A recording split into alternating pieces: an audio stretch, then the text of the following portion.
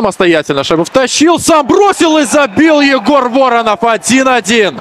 Ну вот не самый, да, оказывается, голевой момент. А, Павел Воронов, да, забрасывает. Э, не самый голевой момент. Э, Павел реализовывает.